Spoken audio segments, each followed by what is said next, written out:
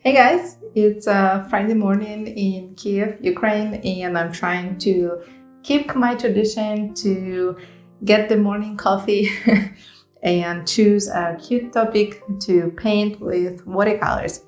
So recently I had um, a lot of pictures of super cute uh, flying squirrels shown to me on Instagram. So I think it's a sign and I need to paint a flying squirrel today. So let's do it.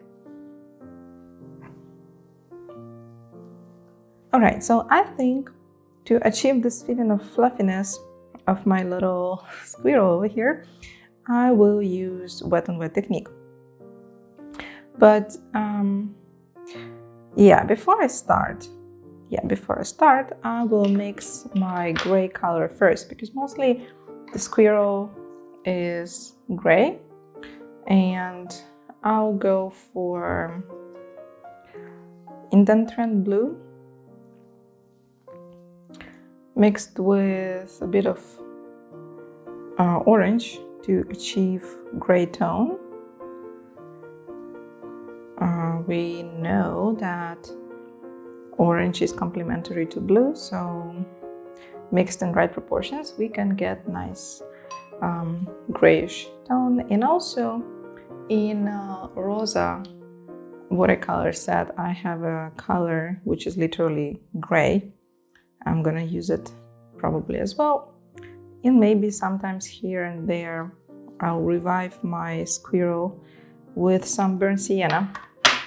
So that's the plan. I've got my colors pre-mixed.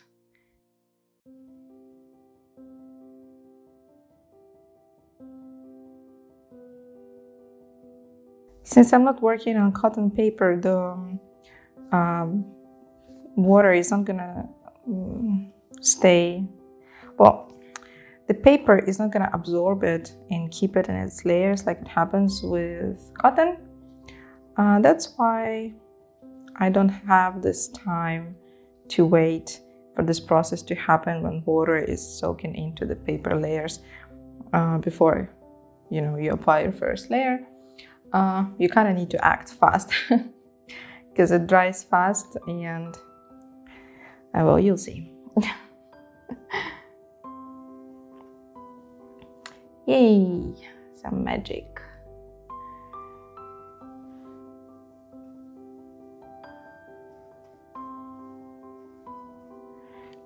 So I just drop the most important color spots, the darkest ones, the color, most colorful ones.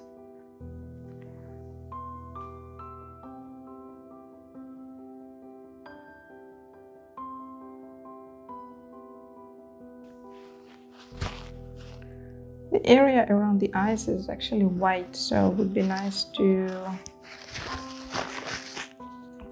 white.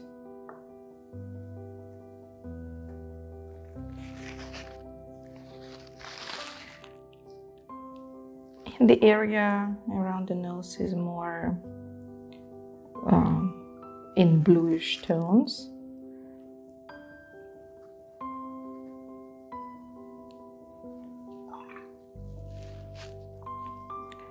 This area should be preserved as well.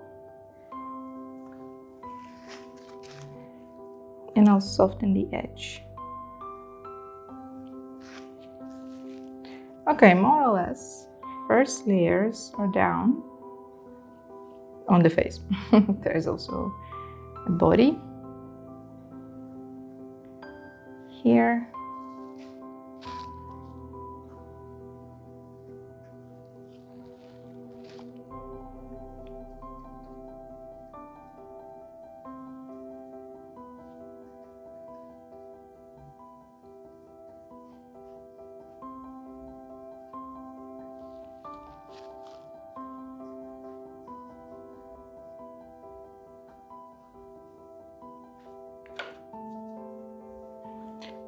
the belly of our flying squirrel will be uh, with ceruleum, very nice and soft um, blue tone.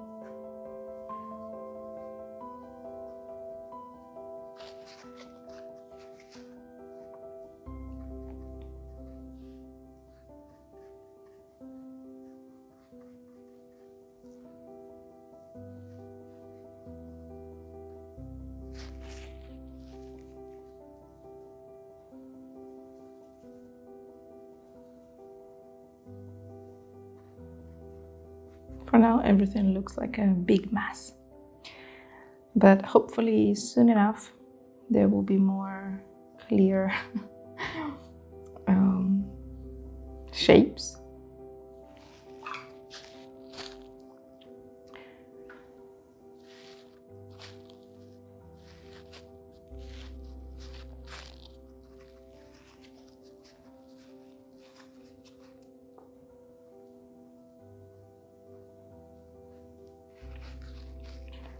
Only regret that I forgot to preserve this area that should be white and now the paint leaked into it.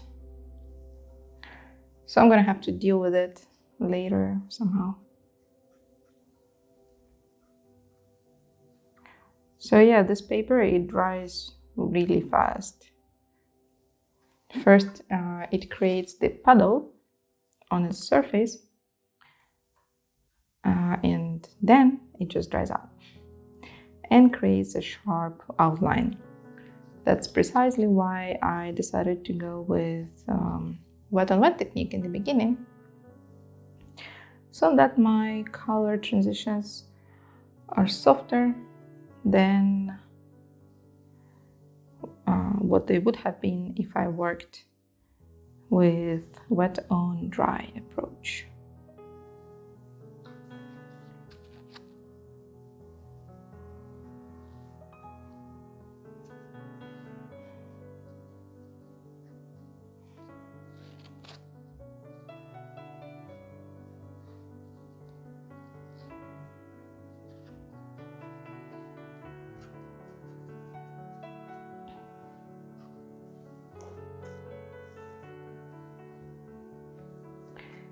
Little tiny cute feet. This feet looks like a like bunny feet. I even want to add some pink into it just because it's so cute. I think there's another foot hiding somewhere behind the trunk, but it's not very clear.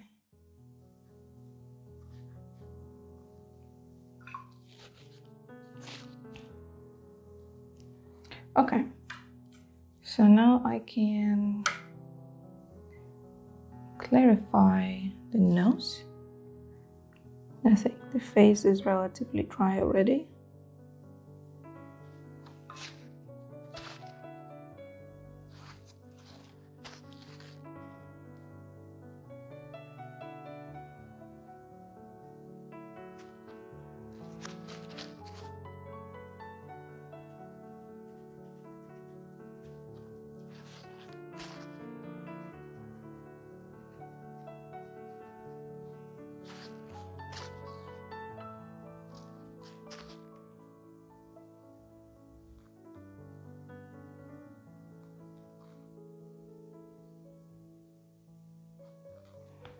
And a tiny drop of pink.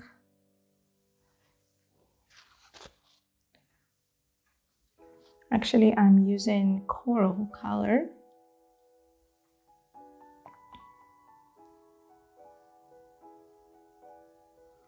And I'm gonna make our squirrel smile.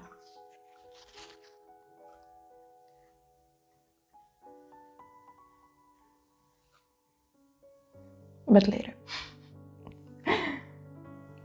Hmm, for now, I need to wait a little.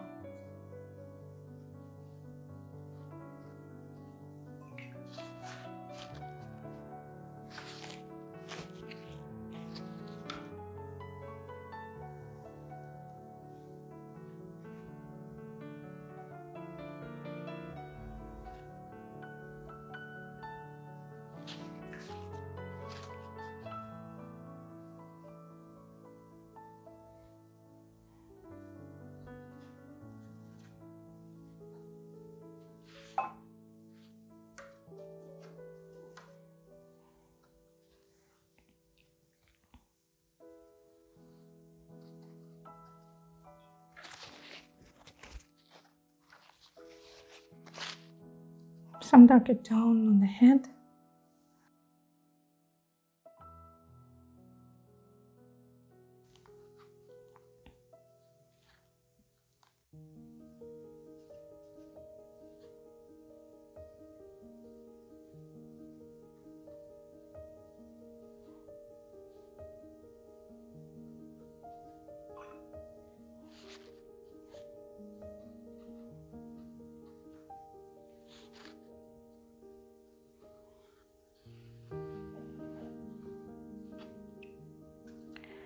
Now the thing with the second ear, it's supposed to help me outline the head of a squirrel, the shape of the head.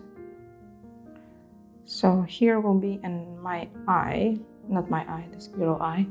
Anyway, then there will be this um, second arm, left arm, and a little bit of fluff on the face.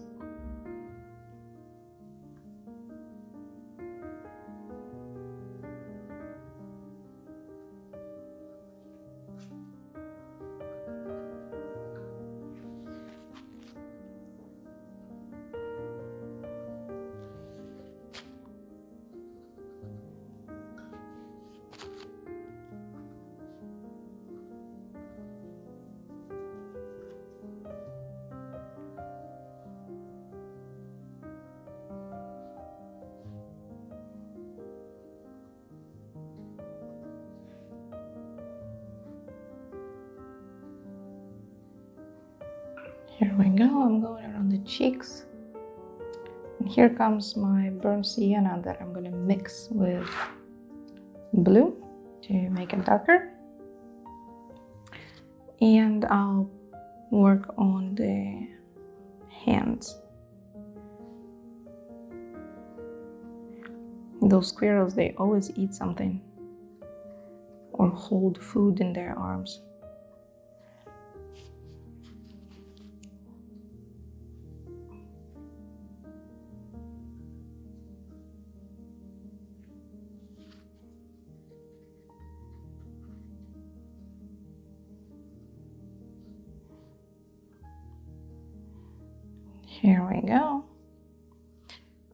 Second hand.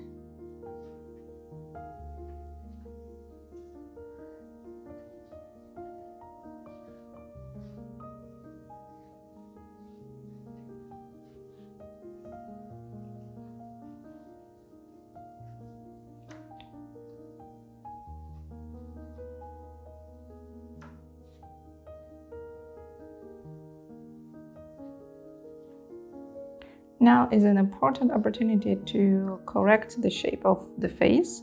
So I'm painting around the cheeks and at the same time outlining them using negative space technique here. And this allows me to actually visually create the face. Voila.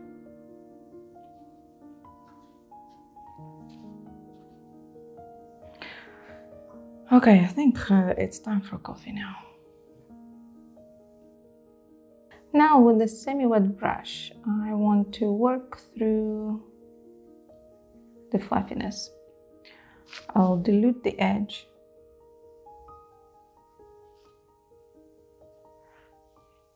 to make my watercolor stroke less uh, defined, less sharp and at the same time it will create this feeling of fluffy cheek.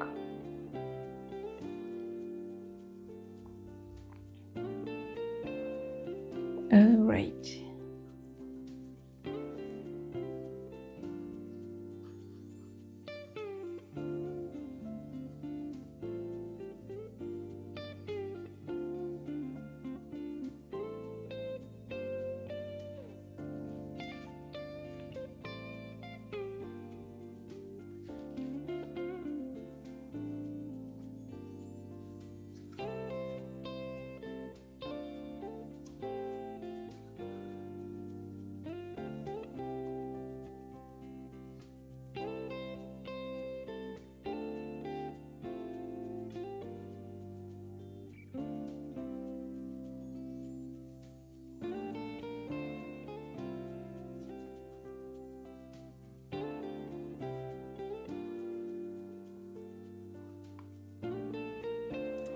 I'm gonna quickly work through the toes and define the feet.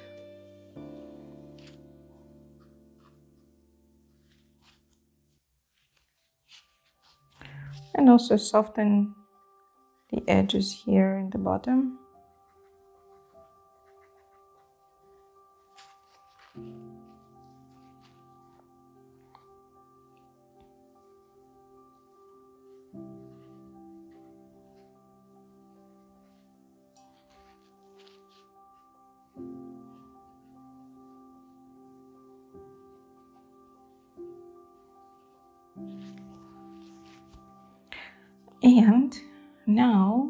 Think it's time to work on the eyes.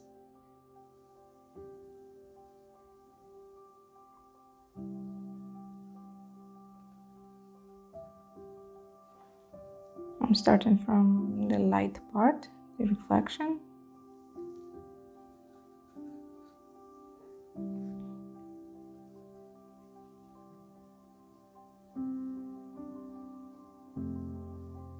It's a bit scary because if I mess it up, it's gonna be the end of the squirrel. I'm gonna have to start over again.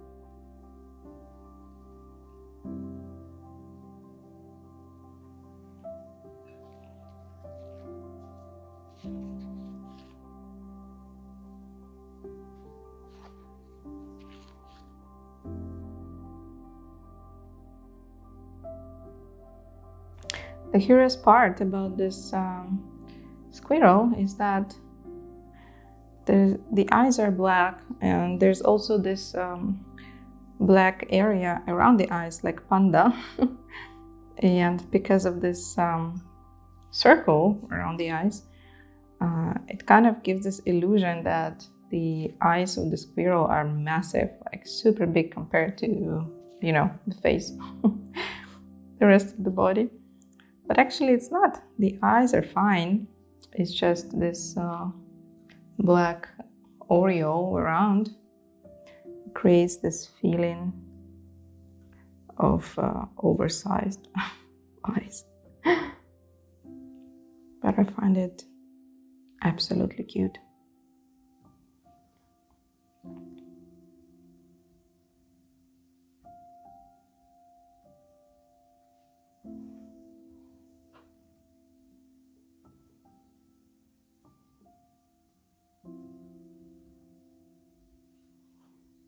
All right, one eye is successfully done.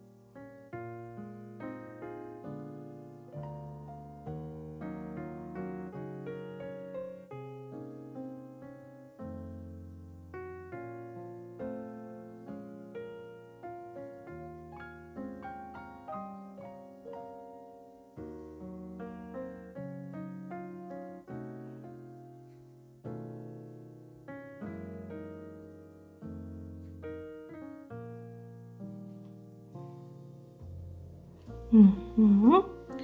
Well, seems to be another successful eye. so I guess uh, I'm gonna finish this painting today without having to start over.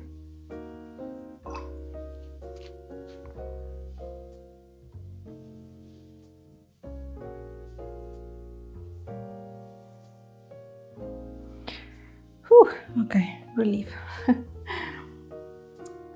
Now it's just a few details. So I need to do something with the mouth.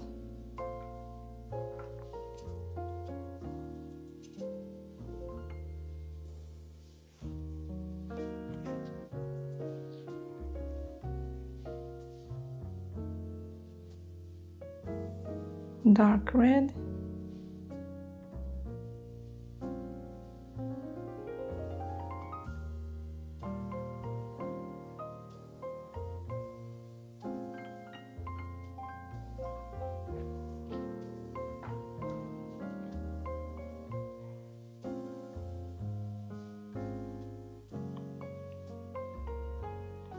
And the squirrel is smiling.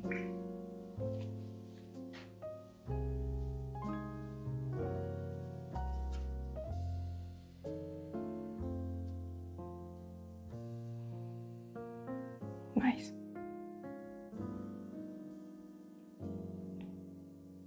So, what should I do next? I think the nose needs to be darker.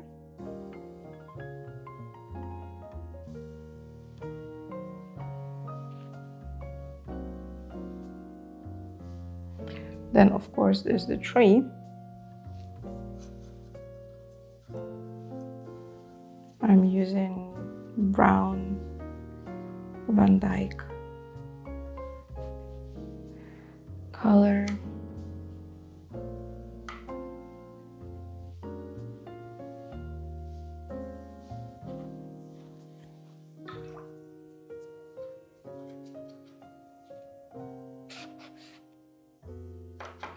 My paper is hot press, so there's no texture whatsoever.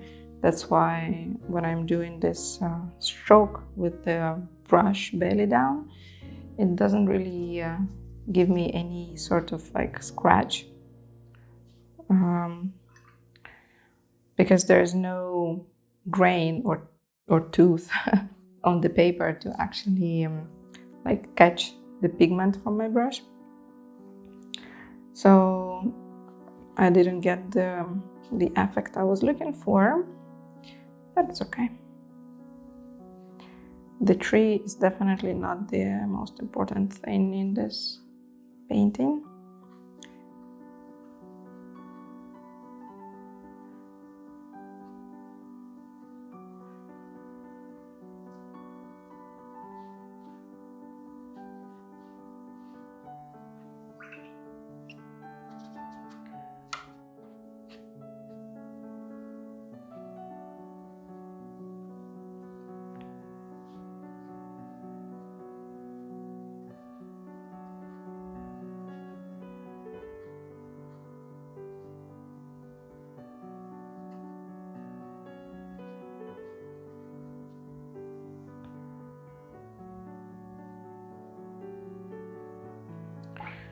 All right, and I will probably add a part here to kind of connect the hands of the squirrel to the tree. Otherwise, it looks like it's um, there's a lot of weird empty space. Everything needs to be logical and connected.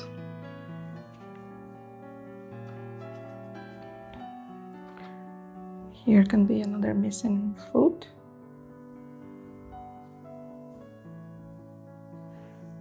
Hiding behind.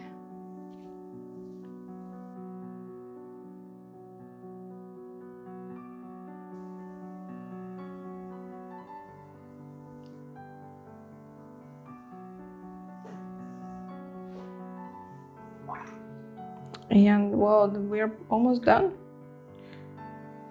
There's a tail and the back. To make it fluffy, at first I put some clean water. And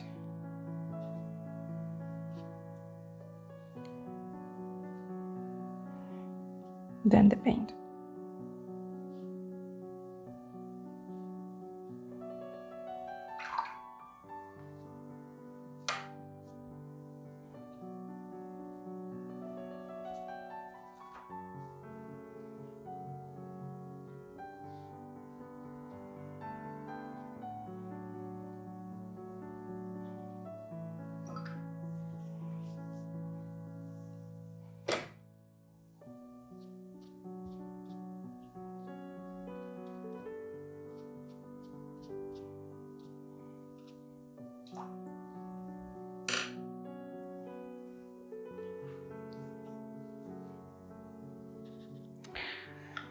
I think I need to correct the shape of the head over here.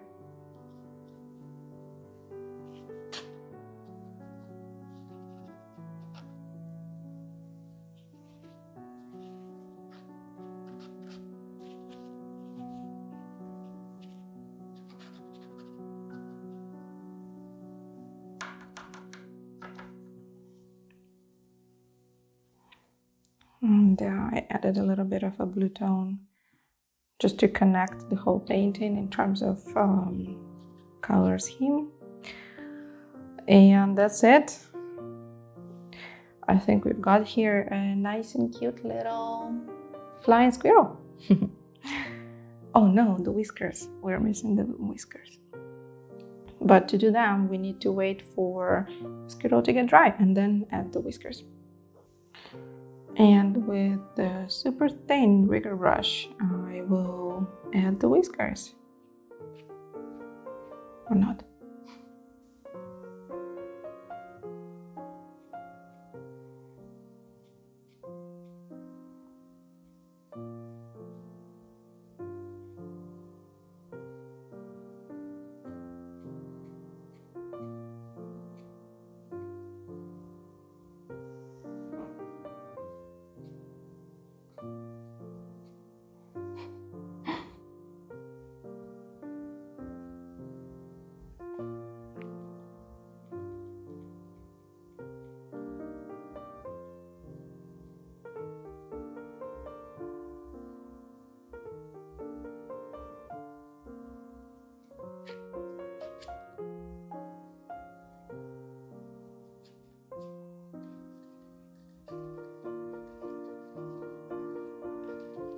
A little bit of texture on the tree.